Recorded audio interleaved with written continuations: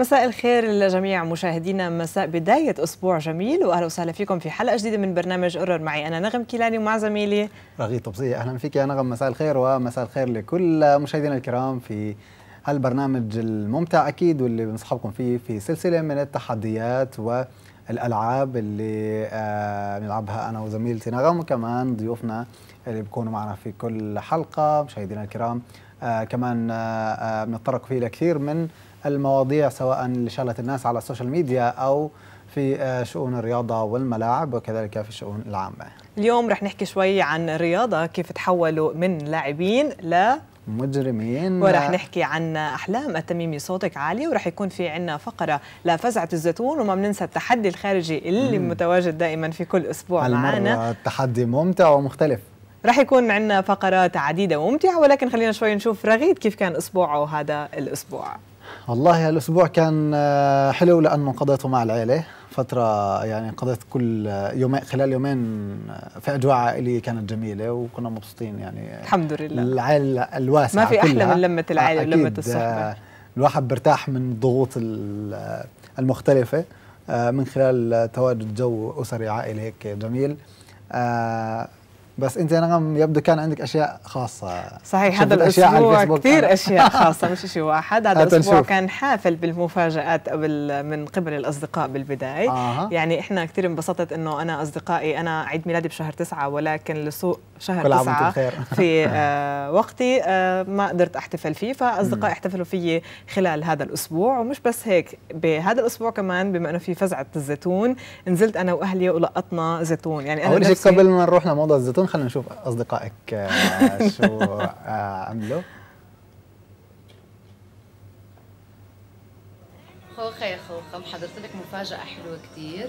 هاي السنة كنت تتمني إنها تكون غير وخططنا لعيد ميلادك لحتى نحتفل فيك بطريقة غير. وجبت لك كل الناس اللي أنت مشتاقتي لهم ومنعتك كورونا و2020 إنك أنت تشوفيهم لحتى يحكوا لك كل عام وأنت بألف خير. وأكيد مني بقول لك كل عام وأنت بألف خير ويا رب السنة الجاي تكون سنة أحلى من اللي مرقت. ومعلش رح نسامحهم ب 2020 هابي بيرثدي نغوم. حبيبة قلبي بحبك كتير كتير واشتقت لك أكتر من هيك بكتير. آه إلنا فترات طويلة بنكون بعاد عن بعض بالمسافات بعرف بس هاي أطول فترة قربنا على السنة مش ملتقيين أبدا. آه مع هيك آه حبك بزيد ومع كل تليفون مع كل لحظة حتى لو لحالي بتذكرك فيها بتأكدي لي إنه الصحبة مش بعدد التليفونات أصلا ولا بالتفاصيل اليومية اللي بنعرفها عن بعض. هي إشي أكبر من هيك بكتير. يمكن لأنه إحنا بطلنا مجرد صحبات من زمان انت أختي ومن أكثر الناس اللي بركن عليهم بحياتي.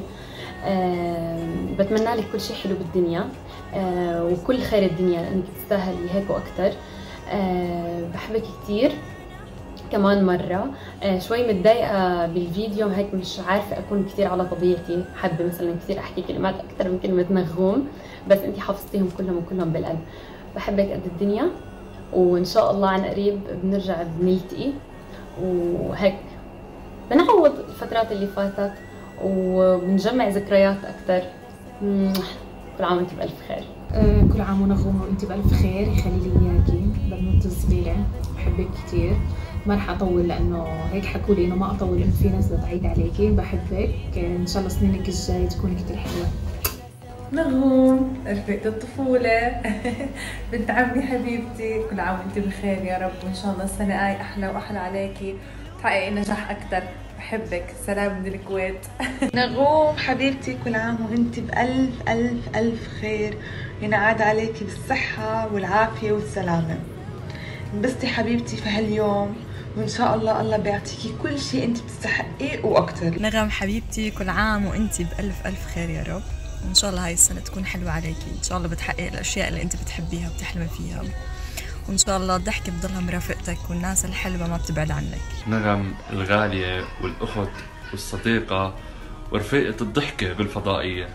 كل عام وأنت بخير. وسنة حلوة ويا رب إنها تكون كلياتها خير وسعادة عليك يا رب. وتحققي كمان كمان كمان كمان يلي ببالك. صح فاجأتني بعيد ميلادك. بس لازم برضه أفاجئك بعيد ميلادك. بس هالمرة عيد ميلادك مني مش أنا لحالي. هاي. كل عام وأنت بخير مرام حبيبتي. إن شاء الله سنة ملانه سعادة ونجاحات كثيرة. والله يحمى لك ناي وتشوفيها من الكبار. وكل عام وأنت بخير. كل عام وأنت بخير. باي. كل عام وأنت بخير يا نغم. كل عام وأنت بخير. والله حبيت إني أكون أنا معك. وهيني سايق. والله دائما زي المعجوقين يعني بحب أحكي لك إنه كل عام وإنت بألف خير كل عام وإنت أم نايل حلوة.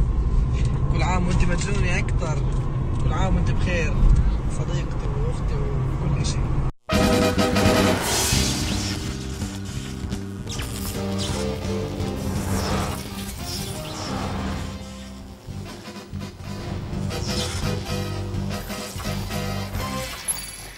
وإحنا كمان بدورنا من نحكي لنغم كل عام وهي بألف خير إن شاء الله وكل سنينها تكون سعادة ونجاح يا نغم آمين بدي يا أسألك رب سؤال يا رب آه من كم يوم حكينا إنه الإنسان هو لازم يصنع سعادته صحيح. لكن كمان في ناس مرات بتساعدنا على 100% الموضوع. وأنا زي ما بقول لك يعني أنت في منهم تعرفهم من أيام الجامعة أنا بالفعل صح. في ناس حوالي الحمد لله الحمد لله ربنا أعطاني إياهم وهدول منهم وجزء من الموجودين في حياتي من يصنعون السعادة لي دائما بقول المرء يتعافى بأصدقائه كمان صح.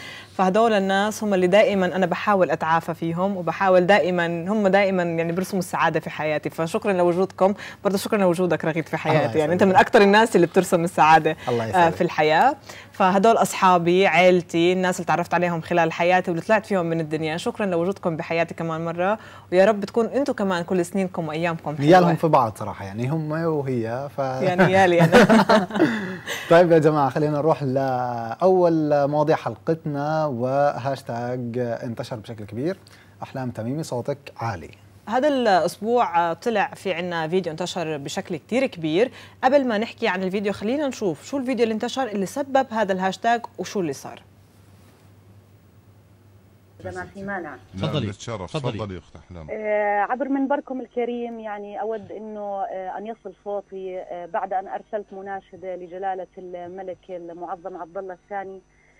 أود أن أؤكد على هذه المناشدة وإن شاء الله أنه يسمعني عبر برنامجكم. وأن تصل هذه المناشدة. أنا توجهت لجلالة الملك لأني أعلم بأنه هو الأب الحاني والعطوف نعم. على كل الأسر الأردنية. أكيد. وأنا التي تقطعت أوصار أسرتي وتفرقت عن زوجي دون سبب مقنع ودون نعم. أن أعلم آه، آه، ودون أن يكون هناك توضيح لهذه الأسباب. في ال- الدستور الأردني كفل لي ولكل الأسر الأردنية التحام الأسرة وكل القوانين الدولية تفرض أن أن آه، تبتر هذه الأسرة وتبتر أواصر لذلك أنا أخت أحلام. أعلم بثقة أخت أحلام. بأن جلالة الملك سينصف أخت أحلام. تفضل. صوتك بقطع تغيري لنا مكانك اغلبك نعم. بس غيري لنا مكانك إذا سمحتي. إن شاء الله. أو أو أرجع اتصلي مرة ثانية إذا بنغلبك دقيقة. نعم هيك تمام. كملي. تفضلي. طيب أنا يعني أعيد ال- ال- ال- الفكرة ثم، آه، وجهت آه، آه، أخت أحلام الصوت بقطع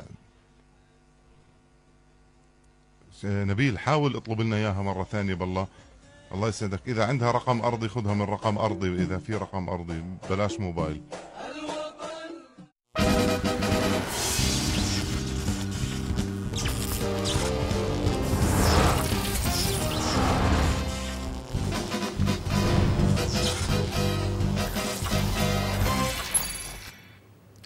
مشاهدينا هالمقطع أثار جدل كبير في صفوف المستخدمين لمواقع التواصل الاجتماعي في الأردن وفي فلسطين وفي مختلف مناطق الدول العربية. وبعد هذا الفيديو بعد ما انتشر الكل صار طلع وطلع في هاشتاج أحلام التميمي صوتك عالي. في منهم من طلب من الناس إنه هي تسحب الرعايات الموجودة في هذا. البرنامج. منهم من طلب من القناة إنه هي توقف هذا البرنامج وكثير كثير ثاروا حول مقدمين هذا البرنامج. خلونا نشوف هاي الصورة اللي ليث عم بيقول بعز علينا امرأة بطلة ماجدة كأحلام التميمي إنها تطلب شيء وبالأساس هو حق إلها. امرأة مرغت أنف الصهاينة بالتراب وبسببها عاشوا الرعب ليالي وأيام. لو كان الزمن غير الزمان لكانت أيقونة ورمز هي وهي, وهي والله كذلك. لكنهم لا يليقون بأحلام أحلام التميمي صوتك عالي. محمد أبو الديرية بيقول آه، فأن فأنكروك لأنهم لا يعرفون سوى الرقص والغناء القبيح. أوقفوا الدعم. يعني بهدول الهاشتاجات طبعا في هاشتاجات كتير نزلت يعني اللي بيقدر يفوت يشوف الهاشتاج هذا نفسه وطلع كتير حكي وطلع آه كتير آه منشور نغم صوتك بقطع. آه، صوتي بقطع صحيح يا رغيد. صوتك انت بقطع ولا ما بقطع. صوت المخرج بقطع ولا ما بقطع؟ خلونا نشوف الفيديو اللي طلع ثاني يوم شو صار بعد كل هالهاشتاجات. اولا بشكر كل الناس اللي شتمونا وسبونا كل الشكر لهم على شتائمهم وعلى مسباتهم وإحنا يعني بالنسبة لنا آه عادي الأمر عادي جدا. لكن أنا بحب إني أوصل رسالة ورسالتي راح تكون يعني شوي مفاجئة. يعني حتى مفاجئة لزملائي في الإذاعة. أنا آخر يوم راح يكون هذا اليوم لي في إذاعة ميلودي. لا لا لا. آخر حلقة راح أشارك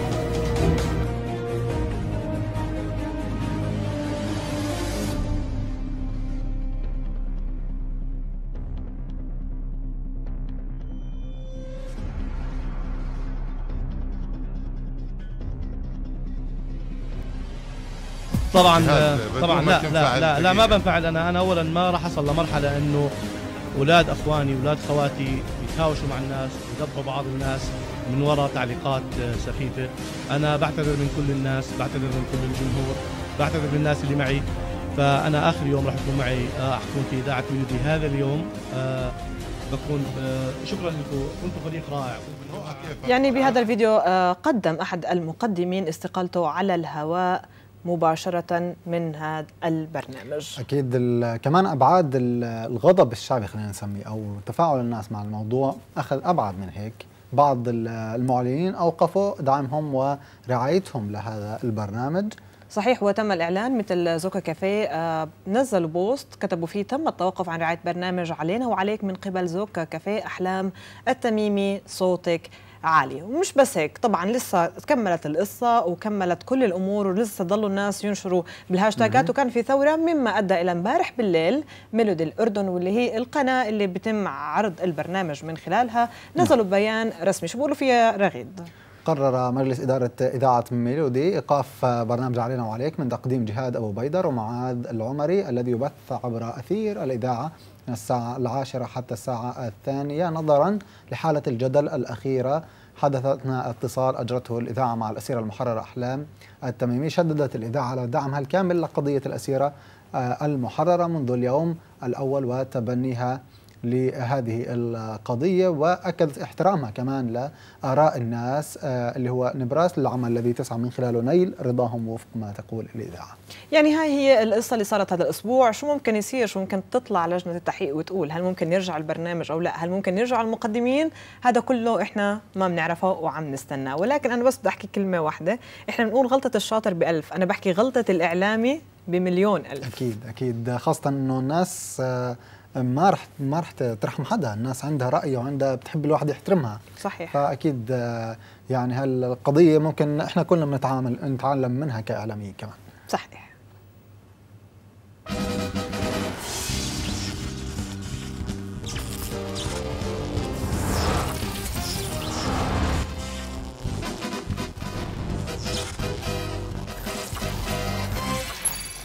خلصنا يا جماعة من آه، موضوع أحلام التميم. نتمنى هالقصة تنحل على خير ولكن كمان في آه، هاشتاجات ثانية انتشرت خلال الفترة هاي.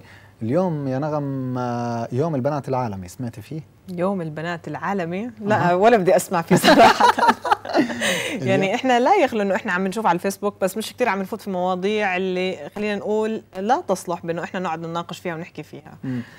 يوم البنات العالمي هو يوم من كل سنة ب- كمباركة ل آه، شو بنعمل فيه إنجاب يعني؟ الفتيات يعني. والله آه يعني إحنا هلأ إحنا عندنا يوم عالمي أنا بعرفش فيه هذا أول مرة كثير فيه. عندكم يوم المرأة ويوم ال... آه بعرف يوم المرأة يوم الأم يوم كل يوم البنات كمان هاي جديدة عن جد؟ آه. هاي جديد جديد جديد جديد طب بدنا نطلع نحتفل وين بيحتفلوا صحباتي يا يعني جماعة هو موجود من قديم بس لأول مرة الناس. يعني آه، بتحكي فيه كثير أنا يعني آه، أحب أقول شغلة في هالموضوع إنه حتى الرسول آه، يعني شجع على إنه الإنسان ينجب البنات ويحسن تربيتهم بيقول إذا إذا كان أي شخص يعني كان عنده بنتين أحسن تربيتهم بدخلوه الجنة إن شاء الله يا الجنة. رب. فأكيد يعني آه، يعني بعزز قيمة آه، ال- الفتيات والأطفال من البنات في مجتمعنا في لك بنت يا نغم شو صحيح. بتحكي لها؟ ناي.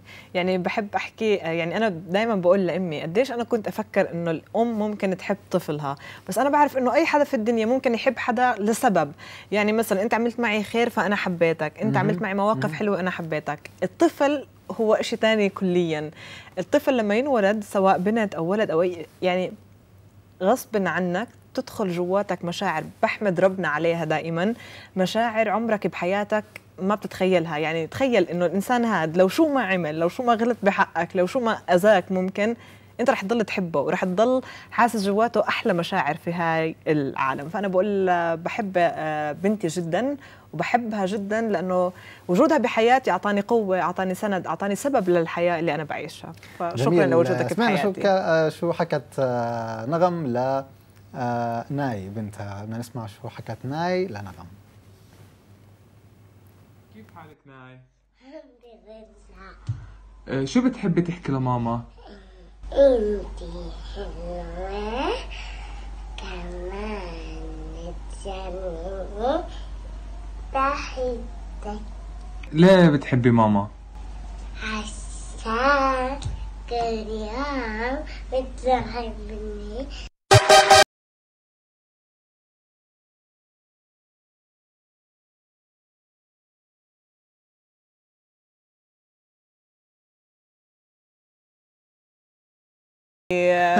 كل يوم بتصدمني رغيد.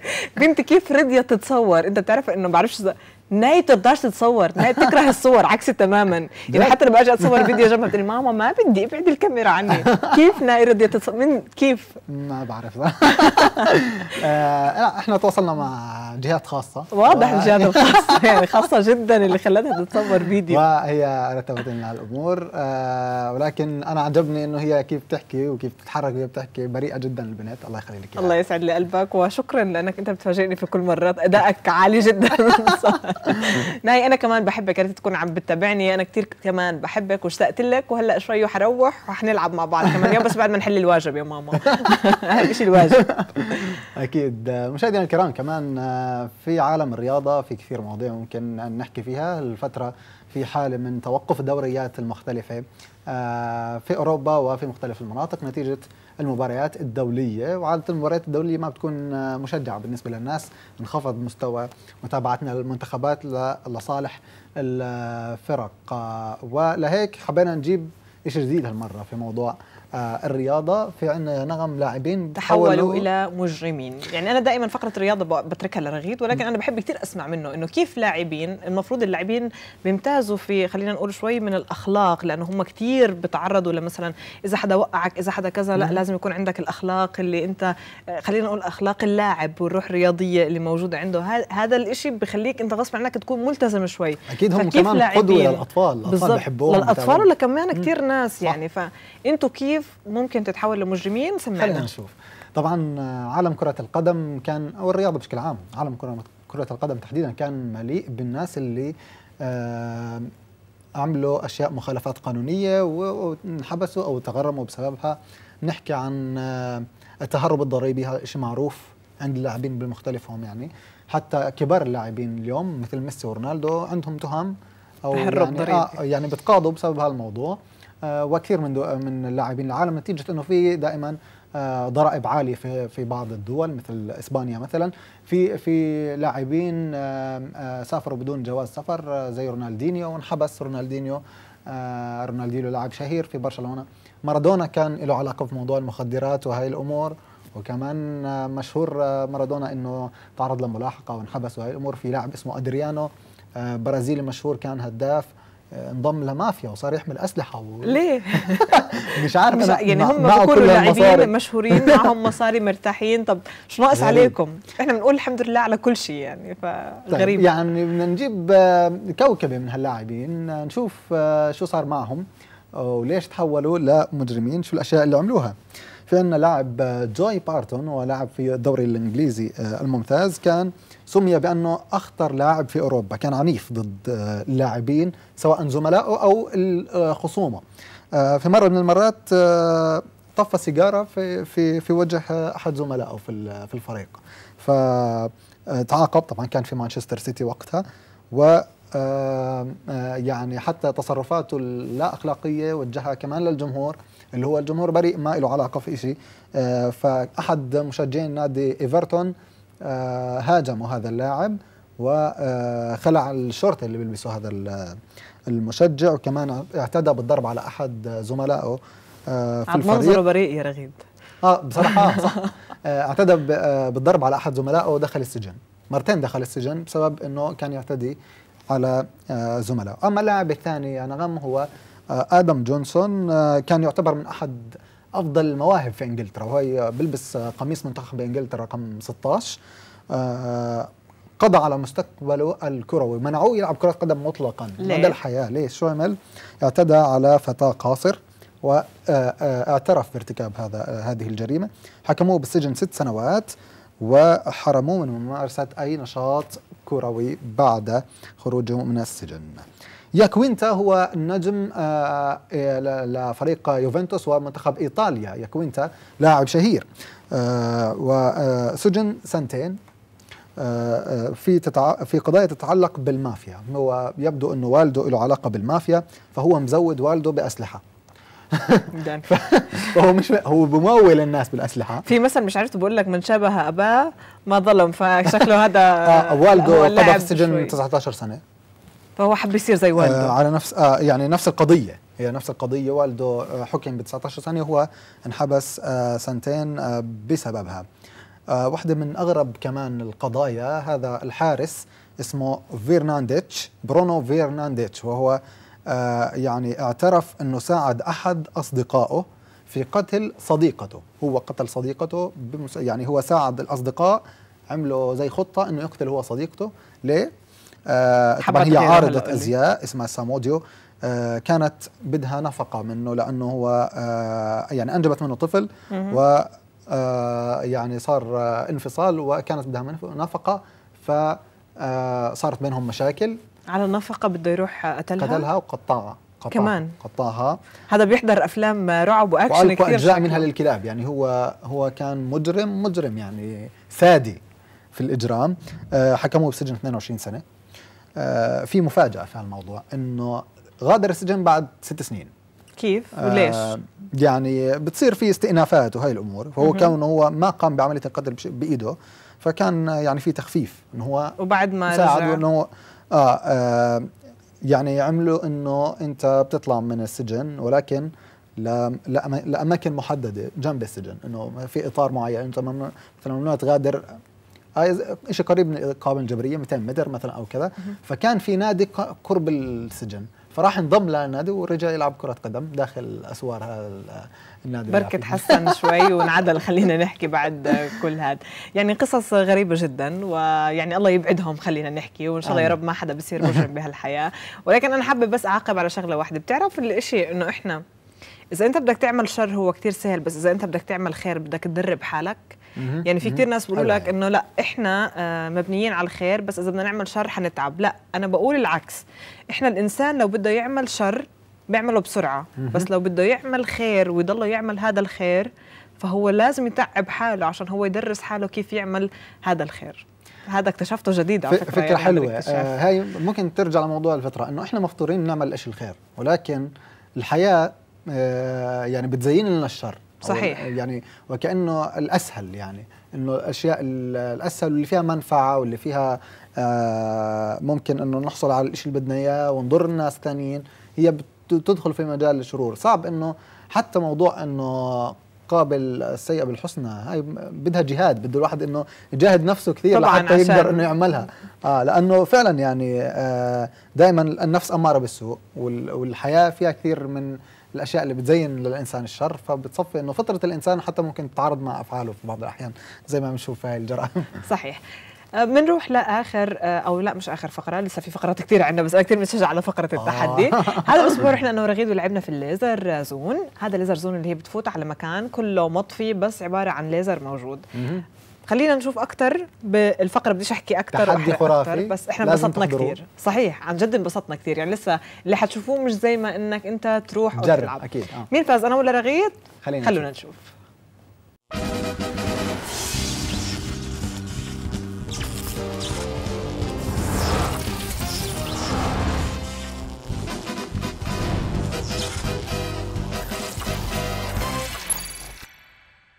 مرحبا. مرحبا. مرحبا في تحدي جديد من برنامج Error 404 تحدينا لليوم رح يكون مليء باطلاق النار والإثارة. أكيد آه، مين اللي بيقتل الثاني؟ ولكن افتراضيا. يقتل. افتراضيا. افتراضيا. افتراضيا.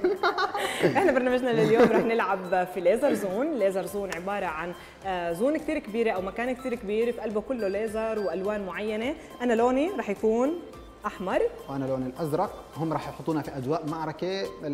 في الداخل راح تشوفوها بعد شوي كيف إنها م- يعني مبنية بشكل إنه زيها زي أرض المعركة. فإحنا راح نكون ما بين الحواجز ما بين العجلات والإطارات. نحاول إنه كل حدا يسيطر على ال- الالغام الموجودة أو النقاط الموجودة في أو لصالح الفريق الثاني. من خلال إنه يطلق ال- النار عليها. بالليزر. إيش؟ يغير لونها للون اللي هو بيحمله أنا بحمل اللون الأزرق زي ما أنتم شايفين. وأنا اللون الأحمر. قديش رح يكون في اكشن مين أسرع؟ مين رح يركز أكثر ما بعرف. يعني هذيك المرة كان رغيد أسرع مني بكثير فهل أنا رح أكون أسرع منه ولا شو؟ بدها لياقه لأنه رح نتحرك كثير بدها حركة وبدها كمان تركيز في إطلاق آه، فعلى الليزر. الاغلب إنه ممكن رغيد يفوز. خلينا نشوف. خلينا نشوف مع بعض. جاهزين؟ جاهزين. يلا.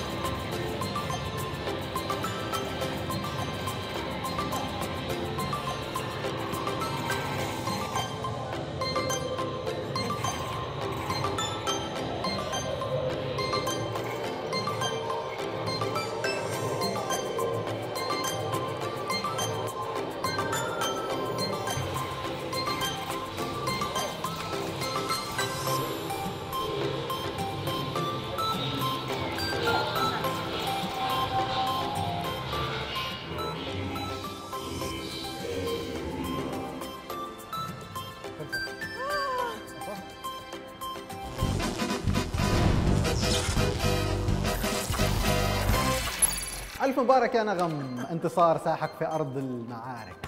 يعني صراحة اللعبة كانت كثير حلوة، كان فيها أكشن كثير كثير وتركض كثير كثير وتقعد تصور بيندمج الواحد. في أجواء إطلاق ال- الليزر وإيش بحس حاله في الحرب الحقيقية عن جد مع صوت بفيلم اكشن آه، مع- يلا صوبت طلعت هاي الألوان وأنت بدك تشوف مثلا أنا كان لوني أحمر فلازم بس أشوف كل القاعة الواحد. بحاول يسيطر قدر الإمكان إنه أنا إيش إنه أنا مسيطر على أرض المعركة يلا بينا نلف فكانت اللعبة عن جد خرافية وعميقة جدا جدا جدا بتحس حالك بفيلم اكشن وخلص بتنسى كل العالم وبس لعبناها- بتركز بال... بالألوان وبالطخطخه وبالتصوير. يلا يلا. برضه الأصوات تعطيك حماس إنه صوت إطلاق النار وهي الأمور بتخلي الواحد يندمج في الجو وإحنا لعبناها بشكل فردي يعني واحد ضد واحد كانت حلوة جدا. بتوقع لو في فريق مثلا بيلعب آه، مجموعة ضد مجموعة رح تكون يعني أكثر فيها إبهار و آه، بتعلمنا بعض الأشياء. بتعلمنا التركيز. أيوه. بتعلمنا كمان إنك أنت لازم مش تتشتت انتباهك لازم أنت تصب انتباهك يكون حذر الواحد. أشياء معينة. إنه يطخ مرة على على اللغم مثلا ويكون منتبه إنه ما حدا بيطخ عليه مثلا فهمت علي؟ بالضبط. فالواحد فيعني كانت حلوة كثير أنا كثير انبسطت. كثير عن جد أنا بقول لكم من أكثر الألعاب اللي أنا انبسطت فيها بس- الجميع إنه يروح يلعبها أنا صراحة تفاجأت في النتيجه يعني حسيت إنه إحنا متقاربين. طلعت نغم إيش؟ مسيطره وأنا مش عارف. أقول لكم السر أقول لكم السر. هلا إنت لما تطخ الألغام اللغم طول ما هو بلونك بينحسب لك. في لغم رغيد ما شافه من أول اللعبة فهو ضل طول آه. اللعبه لونه أحمر على لوني وهو ما انتبه عليه. فهذا بدل إنه أنت لازم تركز على كل الألغام وعلى الواحد مكان. عنده ذاكرة ما- أماكن ال- الألغام لحتى دائما أشيك عليها إنه أنا يلا نعملها مثلا كلها بلون آه، الخاص فيي فوقتها بقدر الواحد يفوز. ولكن فوز مستحق بصراحة. كانت في كثير مرات تقتلني من بعيد. يعني اتفاجئ إنه أنا بطلت ألعب. ليه؟ هي تكون أنا مش منتبه لها وهي تكون مصوبة علي فيعني اللعبة كثير حلوة وكثير انبسطنا شكرا لاني فزت. كالعاده بس لا لا أنت فزت كثير يوم اني عشان عليك بالضبط نبعثكم لهون وكملوا معنا في البرنامج. إلى اللقاء.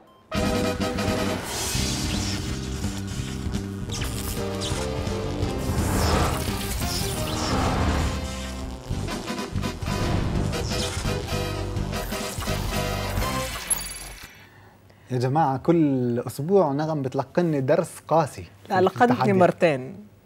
صح؟ انت لقنتيني أربع مرات. أربع مرات. صعصعين هاي هاي الرابعة. صحيح. يعني أنا بدي أقول لكم شغلة إنه قد ما بتشوفوا ما رح تفهموا قديش اللعبة حلوة غير لما تروحوا تجربوها. أكيد. اللعبة كتير حلوة. المطلوب إنه رح يكون في ألغام بس هي لأنه ما فيها تخطخة إنه هو صوت هو صوت الليزر اللي موجود. مهم. بس أنت ما الليزر ما في له صوت حتسمعه. بس حتسمعه وأنت موجود في أرض المعركة. فأنت لازم تروح على أرض المعركة وتجرب هاي اللعبة. أنا كتير انبسطت. في عدة أشكال كمان من الألعاب. ممكن بالضبط، عدة آه،. فريقين ضد بعض ممكن واحد ضد واحد. يعني حسب أنتم كيف. إذا عندك مثلا أصحاب وإشي بتحبوا إنه هاي المغامرات هاي ال- ربع ساعة صراحة بتحطك في أجواء الحرب يعني. بالضبط لسه إحنا بدنا نقول إنه إحنا تم اختصار الفيديو لأنه توقت البرنامج ما بيسمح ولكن إحنا مدة اللعبة كانت ربع ساعة 15 دقيقة وإحنا طول الوقت نركض ونقعد نهرب من بعض ونقعد مين بده يطخ على الألغام قبل فإحنا انبسطنا كثير وكانت من أجمل ال- الألعاب اللي إحنا يعني لعبناها هي ذكرتني في ألعاب الفيديو اللي بنلعبها بالكمبيوتر و PlayStation وهي الأمور ولكن أنت الآن في قلب المعركة يعني. أنت صحيح.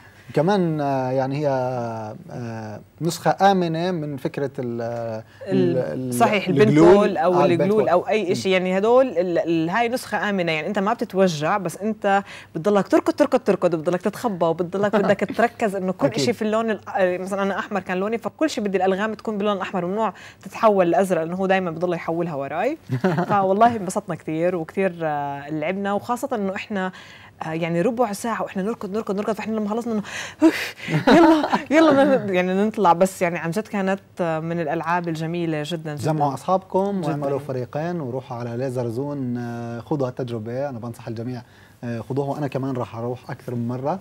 عشان أتعلم المرة الجاية وأحاول أفوز يعني. هاي كان عام بده يجي معنا. تحياتنا طبعا لكل الموجودين معنا في طاقم التصوير آه، سامر حبش وأيضا تحياتنا لكنعان كنعان ولمحمد الشيخ ولمروان الاغبر تحياتنا لكم جميعا اللي هم دائما خلف الكواليس. ويعطيكم ألف عافية. يعطيكم العافية. دائما موعدين بالمزيد والمزيد من التحديات والتحدي اليومي المعروف. الأسبوعي رغيد. الأسبوعي. التحدي الأسبوعي وهو نعم. تحدي ال ايموجي الايموجي. أفلام مسرحيات أغاني وأمثال شعبية ولكن أنا ورغيد أثبتنا شوي إنه إحنا مش كثير شاطرين بهاي اللعبة ولكن إنه إحنا دائما بنضل نحاول إنه إحنا قدر الإمكان. قدر الإمكان. لأنه في كثير مثلا آه، اكتشفت شيء إنه مثلا أنا الأسبوع الماضي لما طلع آه، فيلم العيال هربت أنا قلت إنه أنا ما بعرفه. لما روحت على البيت أنا كثير طب العيال هربت إيش هو؟ فأنا دورت طلع على حماده هلال اللي هم بيقعدوا يغنوا فيه يا ربي يا ربنا تكبر. طب أنا حضرته ألف مرة بس أنا طلعت ما بركزش. هو الاسم الاسم صحيح. طلع. الأسماء الأفلام وأسماء الأغاني يعني حتى أغاني أنا حفظتها كلها بس قول لي شو اسم الأغنية نفسها؟ بقول لك لا ما بعرف. فأنا أسامي الأغاني وأسماء الأفلام اكتشفت إنه أنا حدا مش كتير بركز فيهم فلازم نرجع بحياتنا نركز إنه هاي الأغنية اللي إحنا بنغنيها هيك اسمها. خلونا نشوف تحدي الإيموجي لهذا الأسبوع. بيني وبين رغيد لأنه حابين إنه إحنا نجربه. خلونا نشوف مع بعض. أول إيموجي مثل, مثل شعبي. شعبي.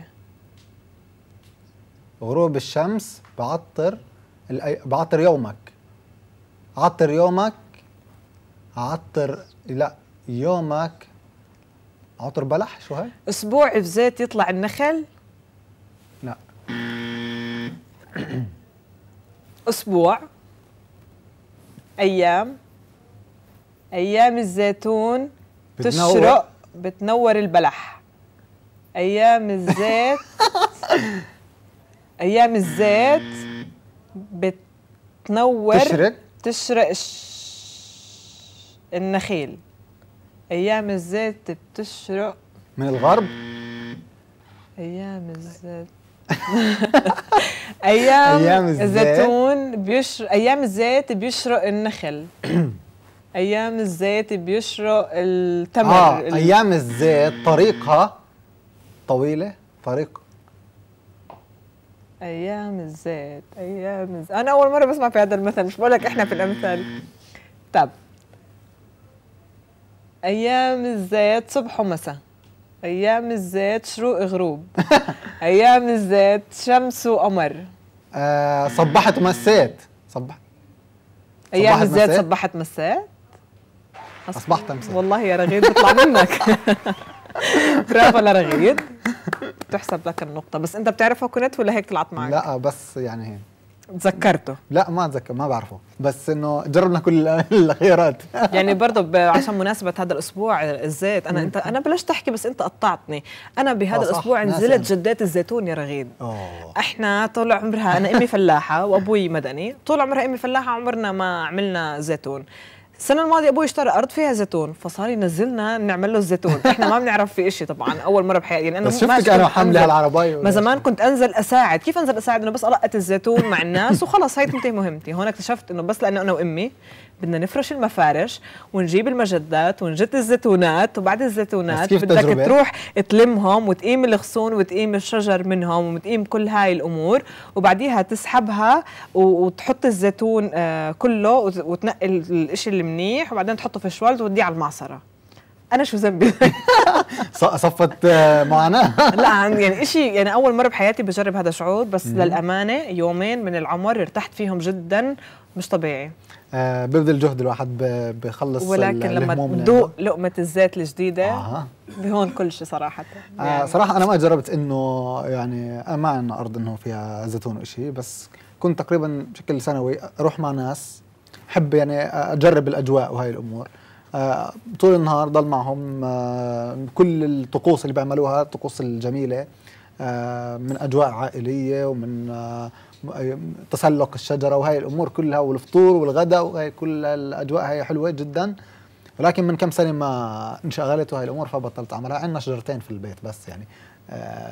بشكل سريع بنعملها. بالضبط. ما بالضبط دول سريعات مش زي إنه آه، يكون بالضبط. عندك 30 لما- و40 شجرة. خلونا نكمل نشوف المثل أو الأغنية الثانية أو مش عارفة شو حذر فزر مثل شعبي. آه عم بيقول لك المثل الشعبي. باب النجار لا. خلوه لا. ها. استنى شوي. آه من اليمين صح؟ آه. من اليمين. كن- كندرجي. كندرجي. اجره مكوية. لا. ما هو عم نحاول. أنا إحنا بالأمثال الشعبية جيم اوفر أنا هي. صعبة شوية بزو آه الكندرجي صح؟ الكندرجي حافي. سكافي حافي وال آه، شوي. والمكوجي. ها بعرفه. واللبيس؟ لا شوي. طيب سكافي سكافي حافي, حافي. آه والخياط خياط عريان. مشلح ولا خياط عريان. والحايك عريان آه، بعرف. سكافي حافي وال والحايك عريان. والحايك عريان لا أنا ماليش دخل في الامثال الشعبية عرفته هاي بس ما- لرغيد رغيد ضايل ثلاثة إذا انت على لا الأغاني وين؟ ركزوا معي. يلا اللي بعده لو سمحتوا بسرعة. آه، أغنية. اغنيه عمر عمر. عيونك باب بعيط عمرك شفت شباك عم يبكي؟ آه عمرك شفت باب باب عم يبكي لو شباب سمحت. عم يبكي. عمرك شفت شباب عم خلص فاز علي. طب برضه بدي أجرب. والله هاي بس شو حلوة. أصحابي أنا حبيت آه عمرك شفت شباب فيلم فول الصين العظيم. آه بعرفوش يعني. برافو علي أنا برافو علي. شطورة، ديبك شطورة. طلعت ها بلشت. تحياتنا لمحمد هنيدي طبعا. وردة. فلة؟ زهرة. وردة. آه، الوردة الحمراء. لا هي من كلمة واحدة تكون. آه زهرة. مسرحية. وردة. في مسرحية. مسرحية إجت وردة. نا- نا- نا. عربية عربية توليب. آه. آه آه آه فهمت آه. فهمت. فهمت نرجس. آه. عباد الشمس. لا مش عباد الشام عباد الله الشمس. يرحمك آه ما هو بقول لك هاي مش صورتها للوردة وهي تتكون من مقطعين. هي تتكون من, من مقطعين. طب شو في هات شوي نشوف ال- الورود. عب... أنا بعرف الورد الجوري بس. مش عارف أنا عرفتها بس أنا مش عرفت يعني بعرفها بس بعرفش طب اسمها هات نعد الأنواع. مين قال لك بعرف أنواع؟ زنبق توليب قلناها لا لا إيش؟ طب بصير نكتب أنواع الورد ونقرر أنا وياه. أنواع الورد الأحمر. خلونا نشوف جوجل يساعدنا شوي أو يا جماعة يعني اللي عم بتابعونا ساعدونا شوي. شو في ورد لونه أحمر؟ هاي ورد. ما عرفش اسمها. شو؟ مش عارفتها صراحة. آه بابا. شقائق النعمان شقائق شقائق النعمان. مش أنا رغيد والله اللي. شق. آه يعني لا هيك أربعة واحد. أنا طب أنا أعطوني بخسر. فول السنة بحب الفول لك أنت فزت شو بدك أكثر آه صح. أربعة واحد. يعني. تحياتنا لرغيد. اللي برشلونة بيلعب علي مدريد. بكفاءة في هذه آه، مم. الفقرة؟ لا بالعكس يعني غالبا آه، ترجيح يعني مش ما كنتش 100% لا ما شاء الله عنك. الله يعطيك العافية. آه، يعني آه الإيموجي بهاي الفقرة رغيد تفوق علي. خلونا نروح لفقرة فزعة الزيتون ولكن بعد الفاصل القصير خلوكم معنا.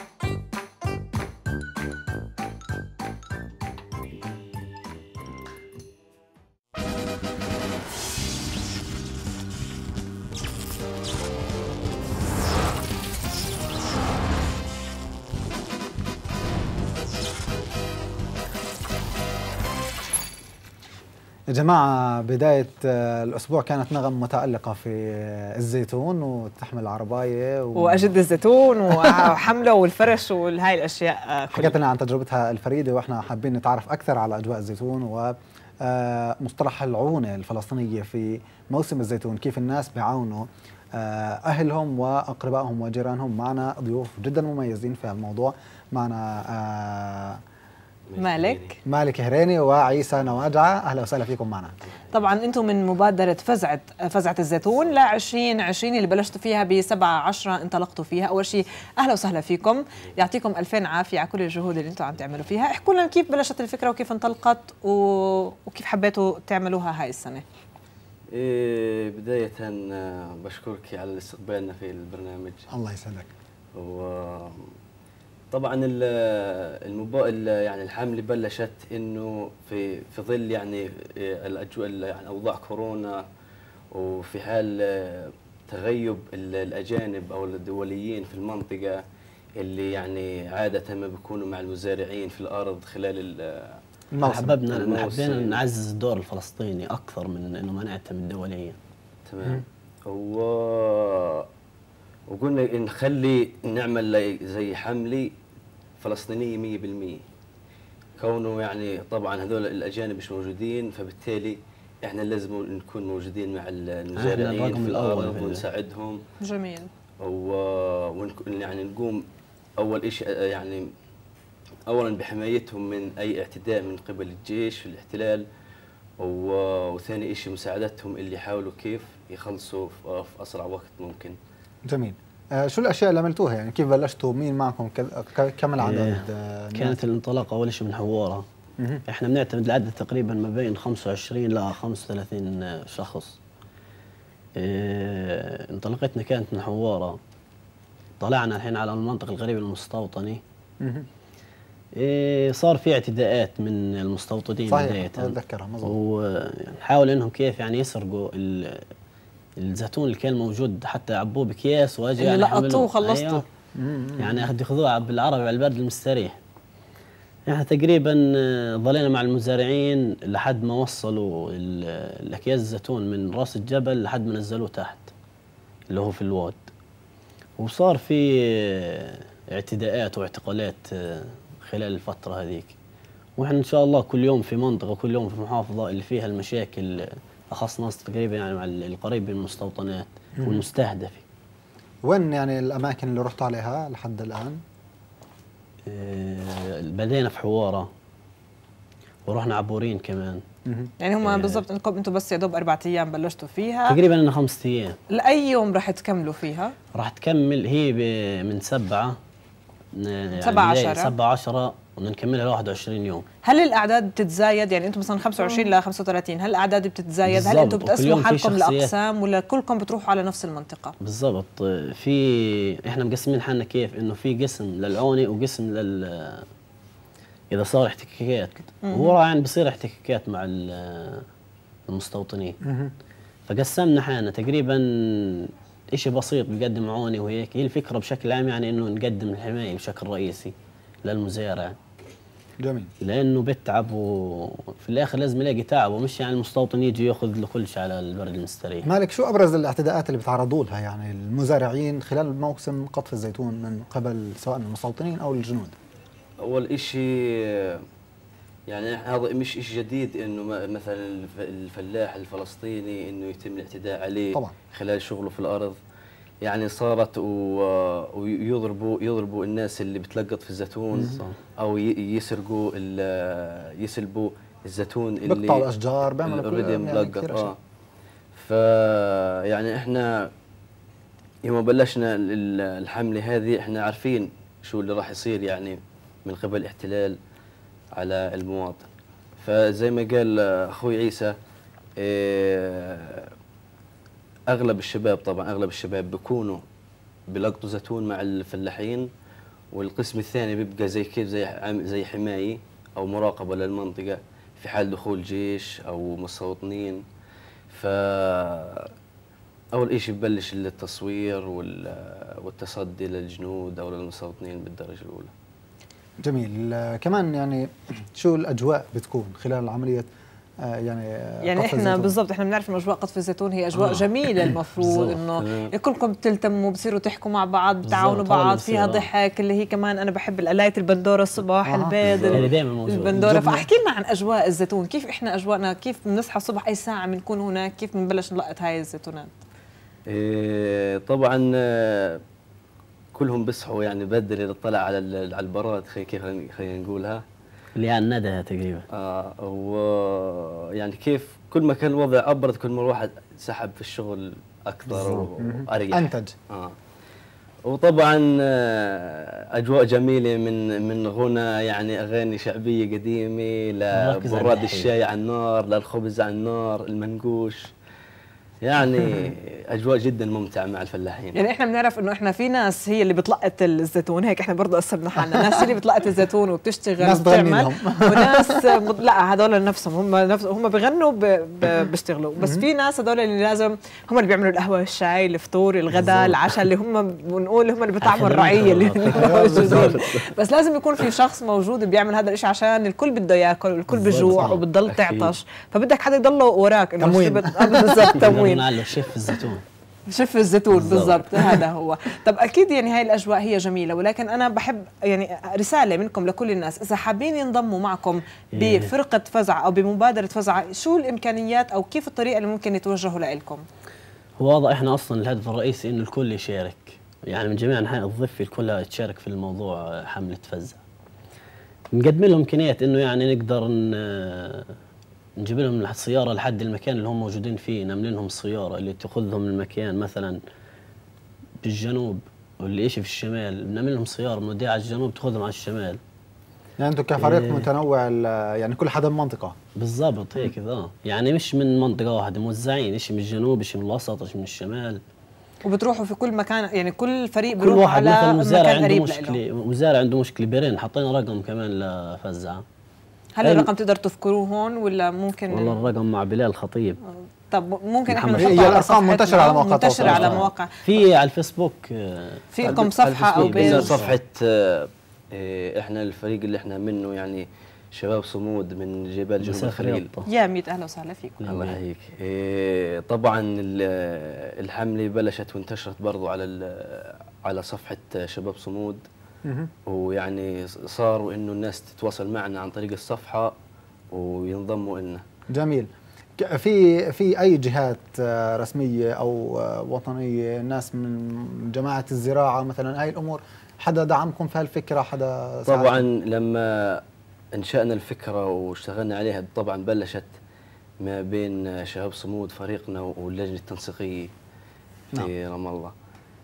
درسنا الموضوع ورتبنا اللي كيف نخليه 100% فلسطيني. طبعا آه، يعني مش إحنا مس إحنا مش مستهدفين نقطة معينة في في الحماية وال- والدعم لل المناطق الاكثر تعرضا للاعتداء. بالضبط المناطق ال- الحامية يعني خلينا نقول.